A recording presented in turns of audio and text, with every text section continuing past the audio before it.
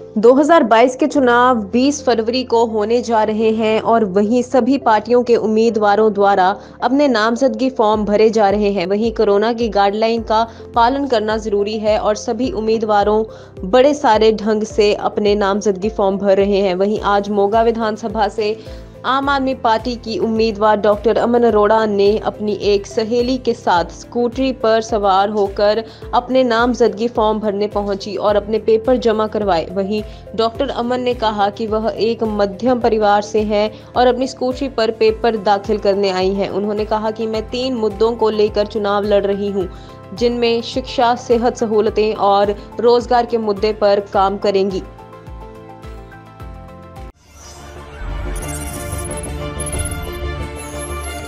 जनहितैषी TRP नहीं खरीदते भरोसा जीतते हैं हम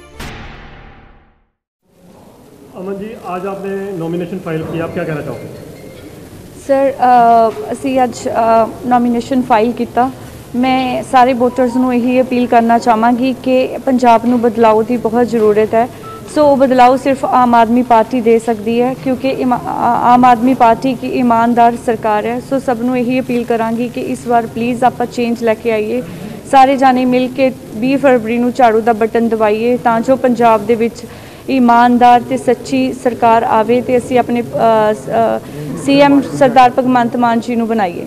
ਅਮਨ ਜੀ ਅੱਜ ਤੁਸੀਂ ਐਕਟਿਵਾ ਤੇ ਅੱਜ ਆਏ ਹੋ ਨੋਮੀਨੇਸ਼ਨ ਫਾਈਲ ਕਰਨ। ਕੀ ਸੰਦੇਸ਼ ਲੈ ਕੇ ਸਰ ਸਾਡੀਆਂ ਮਿਡਲ ਕਲਾਸ ਲੜਕੀਆਂ ਸਾਰੀਆਂ ਹੀ ਐਕਟਿਵਾ ਤੇ ਡੇਲੀ ਟਰੈਵਲ ਕਰਦੀਆਂ ਨੇ। ਸੋ ਸਾਨੂੰ ਸਿੰਪਲ ਤਰੀਕੇ ਦੇ ਨਾਲ ਹੀ ਰਹਿਣਾ ਚਾਹੀਦਾ। ਸੋ ਜਸਟ ਔਮਨ ਇੰਪਾਵਰਮੈਂਟ ਤੇ ਨੂੰ ਮੋਟੀਵੇਟ ਕਰਨ ਦੇ ਲਈ। ਤੇ ਤੁਹਾਡੀ ਤਰਜੀਹ ਕੀ ਰਹੇਗੀ? ਪਹਿਲਾਂ ਪਹਿਲ ਦੇ ਤੇ ਕਿਹੜੇ ਕੰਮ ਰਹਿਣਗੇ? ਸਰ ਅਸੀਂ ਸਾਡੀ ਪਾਰਟੀ ਹਮੇਸ਼ਾ ਹੀ ਹੈਲਥ ਐਜੂਕੇਸ਼ਨ ਤੇ ਰੋਜ਼ਗਾਰ ਤੇ ਕੰਮ ਕਰ ਰਹੀ ਹੈ ਤੇ ਇਹਨਾਂ ਚੀਜ਼ਾਂ ਤੇ ਹੀ ਕੰਮ ਕਰਾਂਗੇ ਤੇ ਜੋ ਸਾਡੇ ਲੋਕਲ ਮੁੱਦੇ ਹੋਣਗੇ ਉਹਨਾਂ ਉਹਨਾਂ ਨੂੰ ਵੀ ਪ੍ਰਾਇੋਰਟੀ ਬੇਸ ਤੇ ਸੋਲਵ ਕੀਤਾ ਜਾਏਗਾ। ਅਮਨ ਜੀ ਅੱਜ ਆਪਨੇ ਨੋਮੀਨੇਸ਼ਨ ਫਾਈਲ ਕੀਤਾ ਆਪ ਕੀ ਕਹਿਣਾ ਚਾਹੋਗੇ?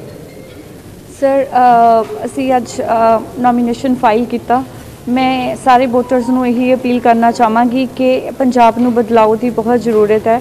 ਸੋ ਉਹ ਬਦਲਾਅ ਸਿਰਫ ਆਮ ਆਦਮੀ ਪਾਰਟੀ ਦੇ ਸਕਦੀ ਹੈ, ਕਿਉਂਕਿ ਇਮਾ- ਆਮ ਆਦਮੀ ਪਾਰਟੀ ਕੀ ਇਮਾਨਦਾਰ ਸਰਕਾਰ ਹੈ। ਸੋ ਸਭ ਨੂੰ ਇਹੀ ਅਪੀਲ ਕਰਾਂਗੀ ਕਿ ਇਸ ਵਾਰ ਪਲੀਜ਼ ਆਪਾਂ ਚੇਂਜ ਲੈ ਕੇ ਆਈਏ। ਸਾਰੇ ਜਾਣੇ ਮਿਲ ਕੇ 20 ਫਰਵਰੀ ਨੂੰ ਝਾੜੂ ਦਾ ਬਟਨ ਦਵਾਈਏ ਤਾਂ ਜੋ ਪੰਜਾਬ ਦੇ ਵਿੱਚ ਇਮਾਨਦਾਰ ਤੇ ਸੱਚੀ ਸਰਕਾਰ ਆਵੇ ਤੇ ਅਸੀਂ ਆਪਣੇ ਸੀਐਮ ਸਰਦਾਰ ਭਗਵੰਤ ਮਾਨ ਜੀ ਨੂੰ ਬਣਾਈਏ।